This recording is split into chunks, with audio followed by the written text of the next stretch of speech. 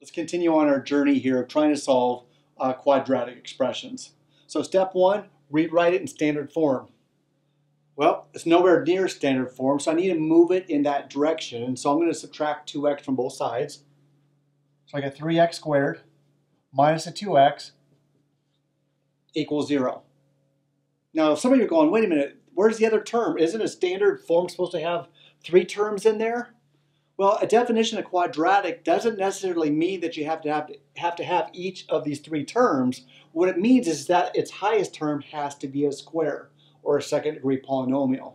So this is a quadratic, but this last constant, it's just zero, so it's kind of, um, it's just missing.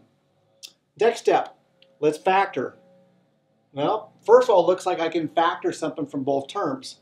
I can factor out an x, I'm left with 3x minus 2 equals 0. Now, do you notice I have two factors here?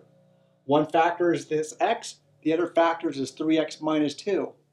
So I apply my zero product principle, and from there, one or one of these two factors, for it to be true, must be 0. So I'll set the first factor equal to 0, x equals 0. Uh, already solved. Set the second factor to 0, 3x minus 2 equals 0, 3x equals 2, x equals 2 thirds. So there are my two solutions to this quadratic equation. And then we want to go on and check, and I'll save the check for you if you choose to do that.